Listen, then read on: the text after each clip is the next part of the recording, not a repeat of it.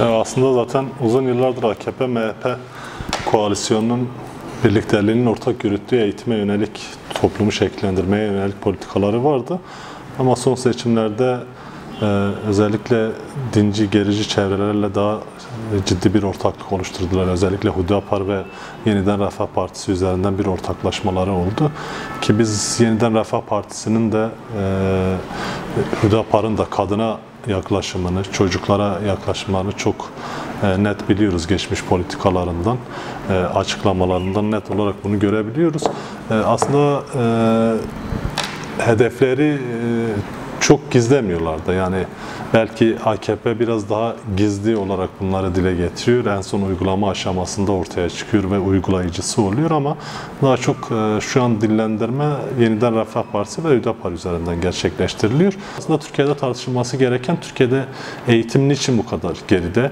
İşte çok özendikleri Avrupa ülkelerinde e, bilimde, sanatta, teknolojide bu kadar gelişme yaşanırken Türkiye sadece niye bir tüketim toplumuna dönüşmüş?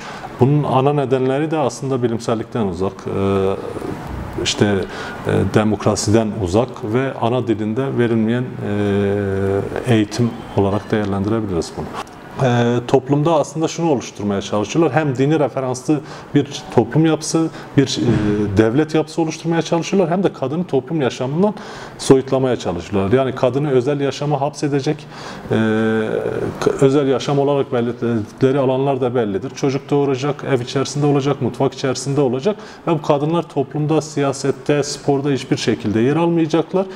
Bunun altyapısını da bu kişilerin bilinçaltına yerleştirecekleri alan da okullar olacak. Okullarda ilkokuldan başlayarak ayıracaklar ve diyecekler ki işte kızlar, kadınlar ayrı bir yaratılışı vardır dini onların tabirleriyle söyleyeyim. Bu yaratılışa uygun bir şekilde yaşamaları gerekiyor.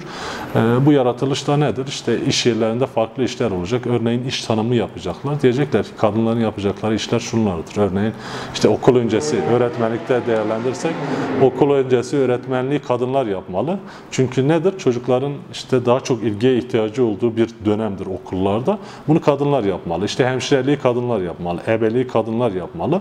Ama şu meslek gruplarını da erkekler yapmalı üzerinden ilkokuldan itibaren çocuklarda bir algı oluşturmaya çalışacaklar. Bunun e, tehlikesini biz yıllardır dile getiriyoruz. E, Afganistan'da da bu süreç böyle işlemişti. Yavaş yavaş gitgide kadınların hakları elinden aldı ve bugün gördüğümüz toplum yapısında kadınlar tek başlarına dışarıya çıkamayacak bir hale gelmişler. Türkiye'de aslında yaratılmak istenen toplum modeli de şeriatla yönetilen e, ve hiçbir şeye itiraz etmeyen belli kesimlerin en son Menzil şehrinde de gördüğümüz gibi belli kesimlerin toplumdaki o gelirin büyük kısmının rantını yedikleri ve diğer fakir bir kesim oluşturmak. Bunu da e, ortaya koydukları işte o dini e, işte hadislerdir, ayetlerdir, farklı gerekçelerle de topluma bir şekilde yedirmektir. Bu anlamda kadını toplum yaşamından koparma anlamında toplum yapısını değiştirme anlamında çok ciddi bir tehlike olarak görüyoruz bu yaklaşımlar. AKP gerçekten çok basit adımlar atmıyor, çok öyle e, saf adımlar atmıyor. Her şeyi düşünerek, planlayarak, altyapısını örerek ve geleceğe de ne olacağını bilerek bu bazı şeyleri dinlendiriyor ve e, bazen uygulamaya geçiyor. Bu noktada e, topluma şu mesajı vermek gerekiyor. Gerçekten kadınların toplum yaşamında olması gerekiyor. Bugün eğer barışı savunacaksa e, kadınlar savunacak. Bugün toplumu değiştirecekse kadınlar değiştirecek. Bugün çocuklar eğer e, bunu kadına yönelik bir rol olduğu için söylemiyorum. Bir rol biçtiğimiz için söylemiyorum ama çocuklar gerçekten özgür düşünebilecekse çünkü en çok anneyle zaman geçiren e, ilk anneyle iletişim kuran çocuklar o anlamda da e, aydın düşünen bir gelecek yetiştirilecekse bu noktada e, gerçekten kadının rolünü bizim de kendi kafamızda oturtmamız gerekiyor. Kadın toplumda her şekilde erkekle eşit bir şekilde yer almalı. E, her işi birlikte yapabilmeli.